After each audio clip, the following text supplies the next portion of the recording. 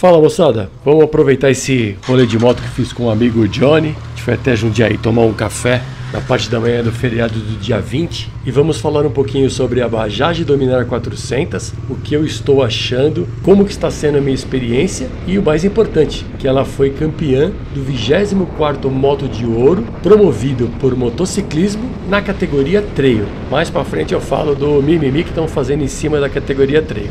E não deixar de comentar principalmente o título da capinha deste vídeo, que é sobre medo, sobre medo dos brasileiros comprarem uma motocicleta de uma marca diferente. Passamos num um evento aí na Marginal Tietê, parece que o motoca bateu na traseira da outra e era uma Bajaj 400 preta. Não tinha acontecido nada com ninguém, a gente seguiu o rumo ali, não precisou dar um apoio nem nada, talvez só um susto. Então tava falando aqui do medo, né? O brasileiro ele adquiriu o medo de comprar motos de outras marcas. Algumas marcas vieram para o nosso mercado, passaram aqui por um tempinho de experiência, acabaram deixando os brasileiros na mão aí. Então esse, esse medo ele não é insano, ele não é loucura. A título de exemplo, quem não se lembra da marca Sandal para as motos? E quem não se lembra da Hyundai na década de 90, que deixou muita gente na mão aqui e hoje está bem aí no mercado, graças ao brasileiro, que ou esqueceu ou perdeu o medo. Mas é algo que a gente precisa perder.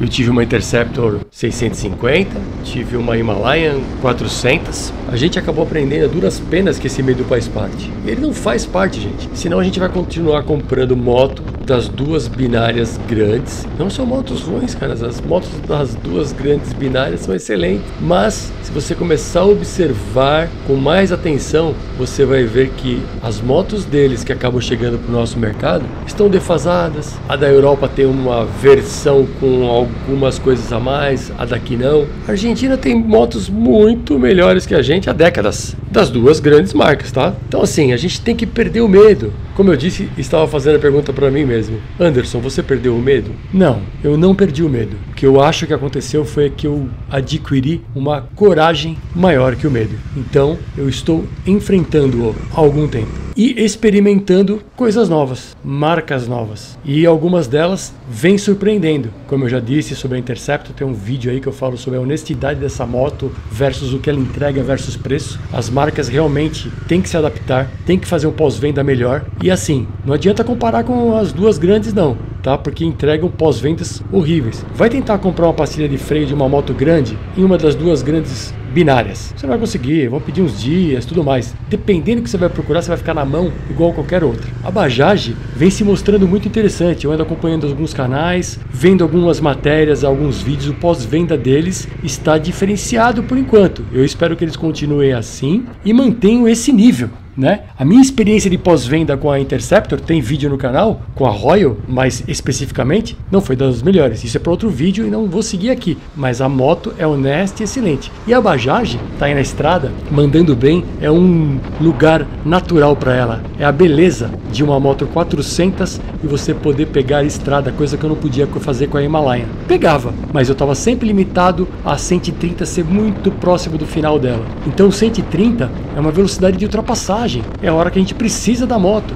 Então a Dominar, ela te entrega tudo isso. E eu vou te falar, moto completa pelo preço dela. Querem ver detalhes do quanto ela é completa? Entre no site da Bajaj, vai lá na opção Dominar e olha tudo que ela tem. Cada acessório, cada detalhe. esse vídeo no objetivo não é falar o que ela tem não, e sim as características que tornam ela uma moto interessante, custo-benefício para nós brasileiros no nosso mercado atual. Ela é imbatível, ela é imbatível com tudo que ela vem e o que ela vem entregando entre em consumo, potência, suavidade para rodar na cidade, energia para rodar na estrada, com garupa, sem garupa. Então, assim, muito boa moto, muito boa entrega que ela vem fazendo. A Bajaj está de parabéns, merecido esse prêmio dela. O mimimi em cima de trail é que tem um monte de gente falando que ela não é uma moto trail. Que moto trail tem que ter roda 21 na frente, roda 19, tem que ser isso, tem que ser aquilo. Porque desde o começo ninguém conseguia colocar em que categoria que essa moto ficava. Se ela era naked, se ela era turismo, se ela é isso, se ela era aquilo. Então colocaram ela como trail. Ela é uma moto trail? Na essência, não. Mas ela se vira bem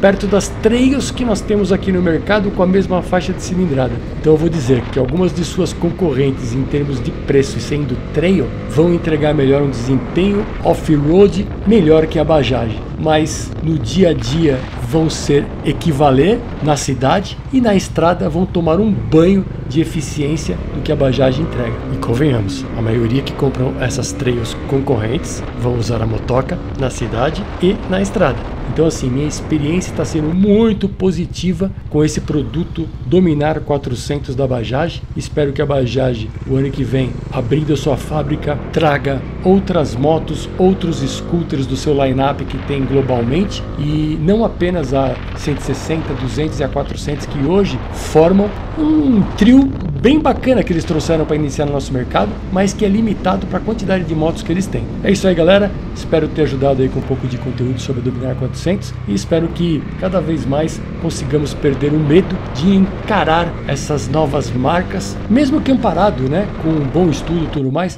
mas que percamos medo de encarar essas novas marcas e seus novos produtos e que eles venham é, apimentar nosso mercado, que, como eu sempre disse, quem ganha somos nós, consumidores. Galera, um abraço e até o próximo vídeo.